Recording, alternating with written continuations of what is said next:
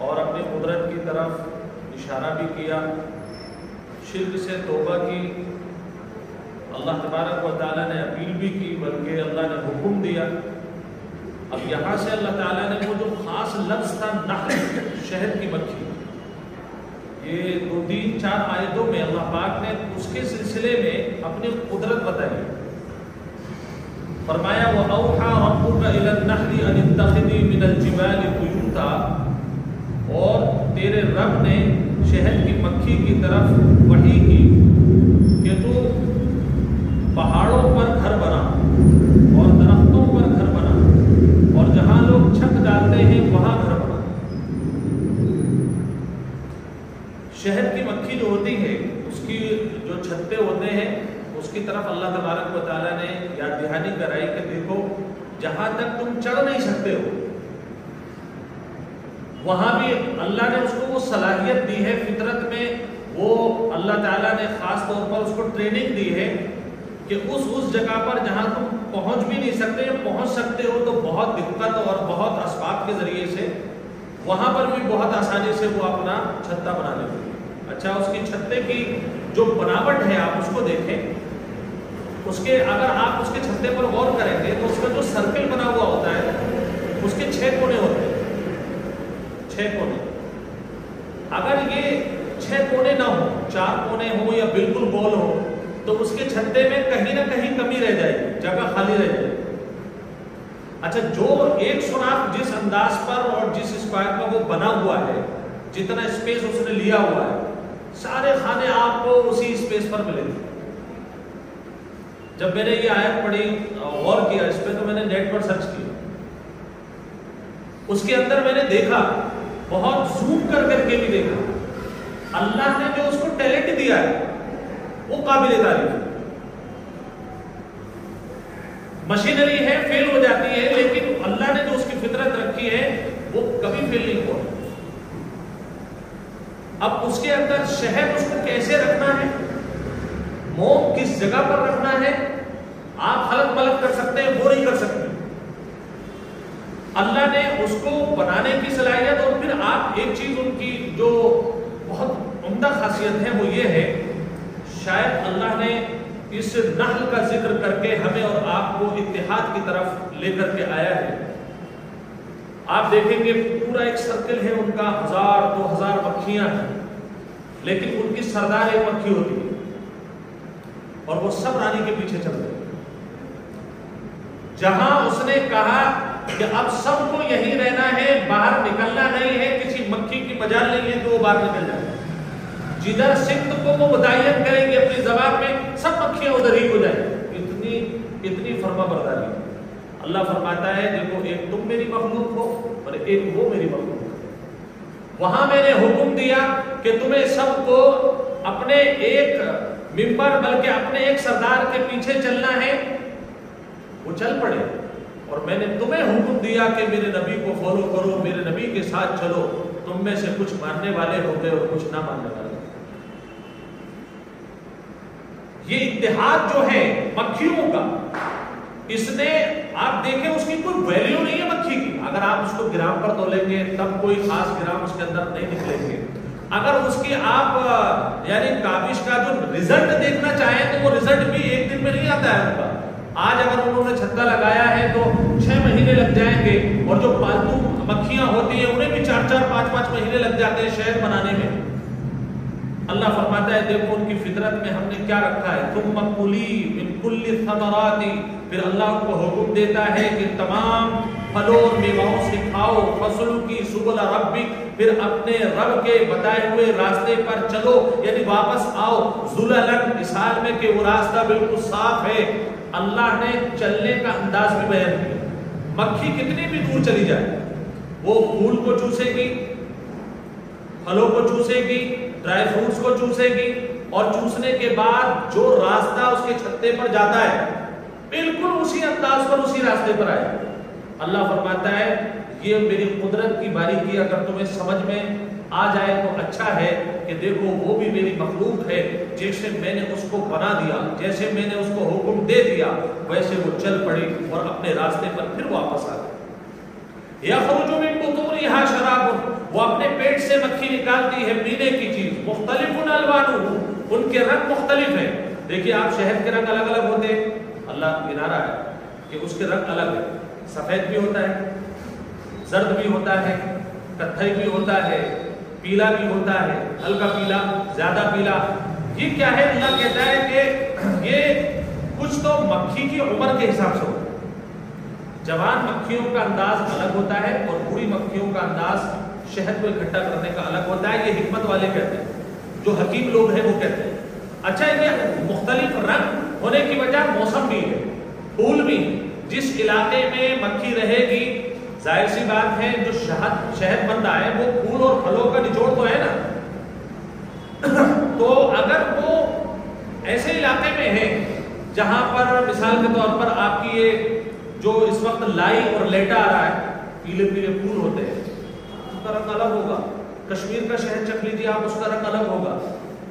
आप सूखे पहाड़ जहाँ पर हैं, वहाँ की मक्खियों का शहद आप चख लीजिए, अलग होगा। अल्लाह ने कहा, अलवान रंग उनके मुख्तलिफ़ होते हैं, लेकिन एक बात कॉमन होती है। फ़ी ही शिफा नास उसमें शिफा है लोगों के लिए, चाहे वो रंग कोई सा भी हो, हमने हर शहर के अंदर शिफा, मख्फी रखी हुई ये बात कॉमन बाज जगह के शहद तो अल्लाह ने ऐसे कुदरती बनाए कि उसमें जड़ी बूटियों को वो चूज़ करके आती है।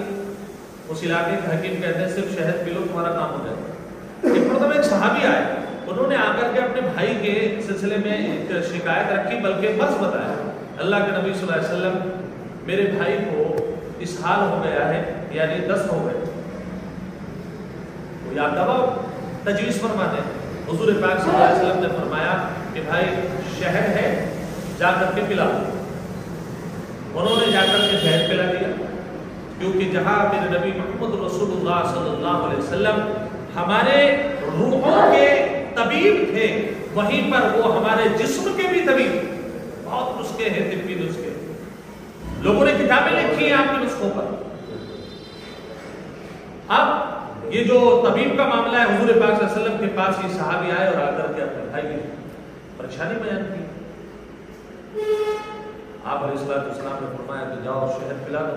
शहद पिलाया है, अगले वक्त में आए, फरमाया के नबी वसल्लम दस्त का मामला तो तेज हो गया। जो पहले था, उससे भी ज़्यादा तेज हो गया, अब मैं क्या करूँ? अल्लाह के नबी वसल्लम ने फरमाया सदक अल्लाह मेरा अल्लाह सच्चा है और तेरे भाई का पेट झूठा है। जा दोबारा जाकर के शहद मिला उन्होंने जाकर के तीसरी मरतबा जाकर के फिर शहद मिला हुजूर पाक वसल्लम के इस नुस्खे को आप वही के तौर पर माने। फरमाते हैं कि तीसरी मरतबा के बाद उनका पेट एकदम दुरुस्त हो गया। बल्कि पहली दो मरतबा में वो डर रहे थे, पता नहीं आगे जाकर के क्या हो। अतिम्पा ने जब इस हदीस पर रिसर्च किया तो उन्होंने इस बात को पाया कि जब एक फासिद मादा पेट में पैदा हो जाता है, जिसकी वजह से जो भी गजा अंदर जाती है, वो जो है दस्तों की शक्ल में बदल जाती है। फासिद मादे का जब तक खरूज नहीं होगा, तब तक ये बदन सही तौर पर हाजमा नहीं करेगा। हजूर पाक सल्लल्लाहु अलैहि वसल्लम ने जो उनका इलाज किया, वो इस हाल से किया। पहले दस्त करवाए गए, फिर उसके बाद जब वो फासिद मादा निकल गया, उसके बाद उनका डाइजेस्ट सिस्टम जो था वो बिल्कुल सही हो गया। अतिब्बा आज भी इस बात को मानते हैं। पेट का इलाज सिर्फ़ ये नहीं है कि आपको दस्त आ गए तो आपको दवा रोकने के लिए दी जाए। इससे नुकसान भी होता है। मादा फासिद मादा बढ़ता रहता है, फिर होता यह है कि आंतों के अंदर बहुत ज़्यादा बीमारियाँ फैलने लगती हैं, फिर वो यहाँ तक के कैंसर तक बात पहुँच जाती है। इसहार वाला जो सिस्टम है, वो अतिब्बा यानी तबीबों के पास ही है। डॉक्टर लोग इस बात को नहीं मानते हैं। जो हमारे ये जो है, अंग्रेज़ी डॉक्टर्स हैं, इस बात को नहीं मानते। उन्होंने जब भी वो एक नुस्खा लिखेंगे, वो रोकने का लिखेंगे। लेकिन इस हाल, इस हदीस से भी पता चलता है और अतिब्बा ने इस पर रिसर्च किया है कि हर मरतबा के आपको दस्त आ रहे हैं या पेट खराब है या मरोड़ है किसी तरीके की, आप उससे ये ना कहें कि सिर्फ़ इसको रोक दिया जाए, बल्कि उसकी तदबीर इख्तियार की जाए फासिद मादे का बाहर निकलना भी ज़रूरी है। बहरहाल, ये बात समझ में आ गई फ़ी ही शिफा उल्लिनास इसमें शिफा है लोगों के लिए, लेकिन मैंने पहले भी अर्ज़ किया था कि उसकी शिफा के लिए वहाँ तो वही आ रही थी, आपको पता था। कि भाई इसमें शिफा इस बंदे के लिए है, लेकिन मुझे और आपको पता नहीं है।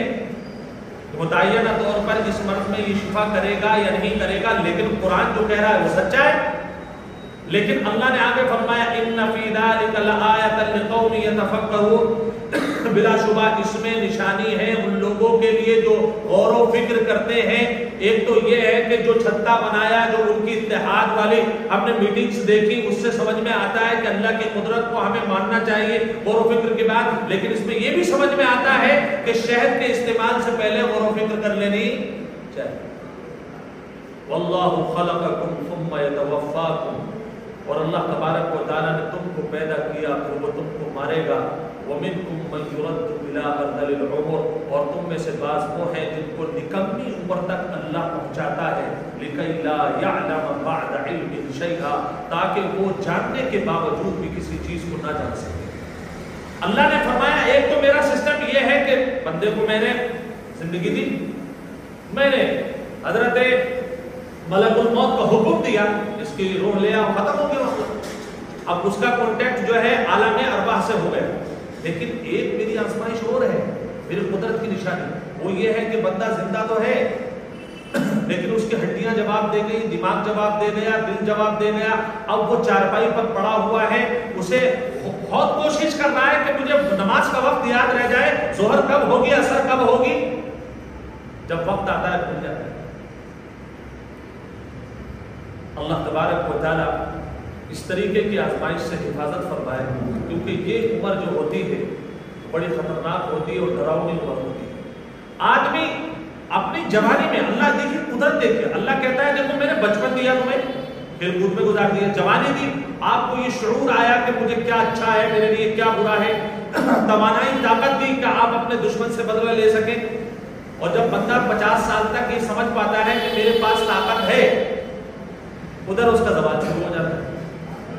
उसने गुरूर बनाया मोहल्ले में अपना अपना अपना एक जो है, लोगों को स्टेमिना दिखाया। और जब तक वो स्टेब्लिश हो पाता, तब तक वो अर्जल उम्र शुरू हो गई पचास के बाद। अब वो कहता है कि नाश्ते में क्या खाया था वो भी याद नहीं। अल्लाह फरमाता है, इससे समझ में आई, इल्म भी हमारे खजाने से मिलता है और कुदरत और ताकत भी हमारे खजाने से जिसको जब चाहते हैं दे देते हैं और जिससे जब चाहते हैं ले लेते हैं। बड़े बड़े इल्म वालों को देखा गया कि जिनकी दानाई पर लोगों को फख्र था, लेकिन जब अफजल उम्र पर पहुँचे तो उन्हें सुबह का क्या खाया था, शाम को याद नहीं। समझ में अल्लाह की कुदरत? अल्लाह का इल्म, अल्लाह का खजाना। अल्लाह फरमाता है यानी अल्लाह ही है जो इल्म रखने वाला है। उसका इल्म हमेशा से यक जैसा बिल्कुल बेमिसाल था, बेमिसाल है, बेमिसाल रहेगा। और बाकी जितने भी उलमा हैं, वो जब तक आलिम है, जब तक अल्लाह ने दिमाग सालिम रखा है। और जिस दिन ताकत छीन ली गई तो चाहे कितना बड़ा साइंटिस्ट क्यों ना हो, कितने उसने जवानी में कितने ही ज़्यादा जो है मेहनत क्यों न की हो जब हम सलाहियत छीन लेंगे तो तुम्हारा इल्म भी बर्बाद।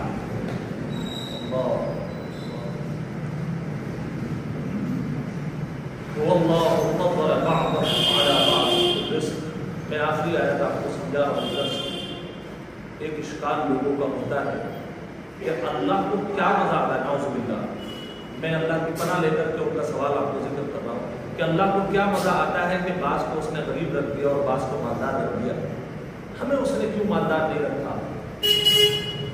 सवाल करते हैं लोग और ईमान वाले सवाल करते हैं। उसकी उसकी दानाई उसकी हिम्मत इस आयत में मौजूद है कि बास को गरीब क्यों रखा और बास को मालदार क्यों रखा, बास को बास को मिसाल के तौर पर कमज़ोर क्यों रखा और बास को ताकतवर क्यों रखा? अल्लाह फरमाता है और अल्लाह तबारक व तआला ने, तुम में से बास को बास पर फौकियत दी है रिस्क में। आज के यहाँ ज़्यादा खाने वाला कोई? कोई नहीं खाने वाला। एक दो लोग हैं बेचारे, कहाँ तक है दो हाथों से लुटा रहे हैं, फिर भी रिस्क खत्म नहीं हो रहा, कम नहीं हो रहा।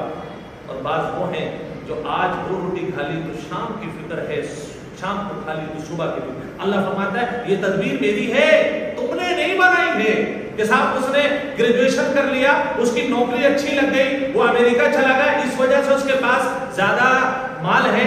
भाई, अमेरिका जाकर के देखिए, वहाँ भी फकीर रहते हैं। और लोग रोडों पर रहते हैं। आपको छत नसीब है गुर्बत के बावजूद। वहाँ तो लोग अपना एक कैंप बनाते हैं, एक छोटा सा शामियाना बनाते हैं जो प्लास्टिक का होता है वाटर प्रूफ होता है और रोडों के किनारों पर लेटे हुए। मैंने नेट पर सर्च किया, मुझे महसूस हुआ कि हम तो दुनिया से ये बात कहकर के फख्र करते हैं, हमारा भाई तो साहब अमेरिका में है।